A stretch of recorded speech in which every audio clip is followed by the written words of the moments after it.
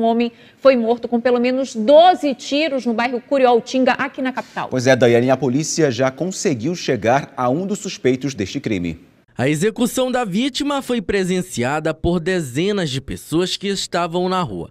Carlos Augusto Ferreira Silva foi surpreendido pelos assassinos próximo de onde ele morava, na passagem Mauri Aldir Santos, no bairro do Curioltinga.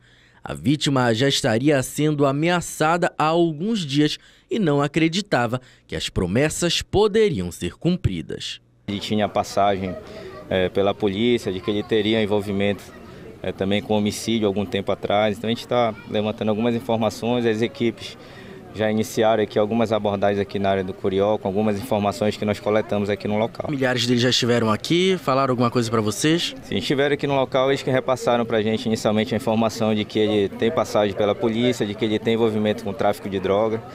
É, inclusive, ele, ele tem um envolvimento com um traficante conhecido aqui da área que foi preso recentemente pelas guarnições do 27 então essas, essas informações que nós coletamos né, agora no local. Seria morador aqui da área então, né? Morador aqui da área do Curió. Carlos era bem conhecido pelos moradores da área. À medida que a população ficava sabendo da morte, iam chegando na cena do crime.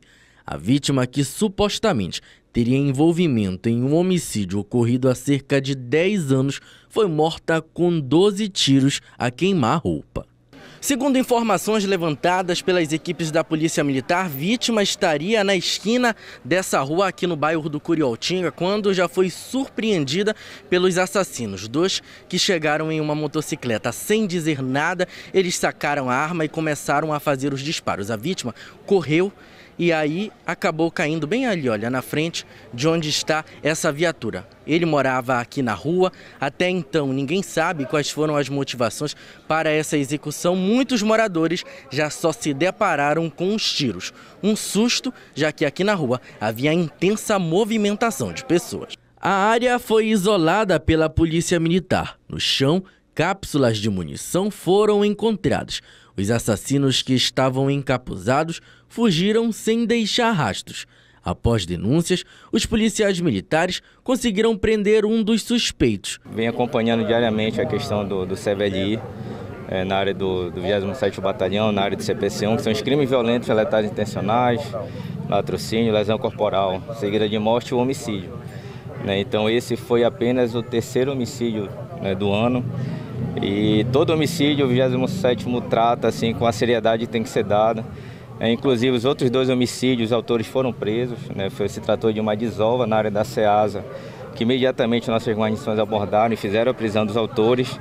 E um outro disparo ainda no mês de março, é uma, uma execução aqui na área do Curió, que o, é, o autor também foi preso alguns meses depois.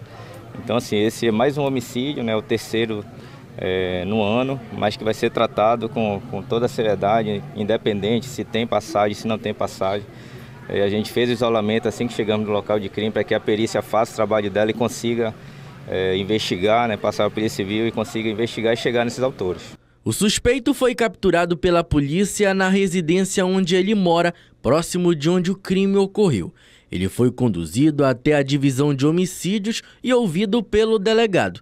O suspeito foi encaminhado para a realização de exames. Uma briga pode ter sido a motivação para a execução. Suspeita que ainda será investigada pela Polícia Civil, que agora busca identificar o outro suspeito. O corpo de Carlos foi removido e encaminhado ao Instituto Médico Legal. E a polícia tem várias linhas para investigar esse crime. Agora, Daiane, uma execução. Doze tiros, pelo menos, foram disparados contra esse rapaz, que já teria passagem pela polícia, respondia pelo crime de homicídio há cerca de 10 anos e morreu assim no meio da rua movimentada na noite de ontem. Exatamente, movimentada na noite de ontem, na frente de todo mundo, esses criminosos sem se intimidar, mas em questão de tempo, poucos minutos depois, a polícia conseguiu localizar um suspeito que estava em casa, morava ali próximo e agora falta localizar esse segundo suspeito e saber a motivação desse crime. Agora, um fato muito relevante nessa reportagem, né, Agenor, é o fato de serem três homicídios registrados apenas num bairro como Curió, Curioltinga, um bairro bem populoso, Isso. não é verdade? E a resposta rápida da polícia para esses casos.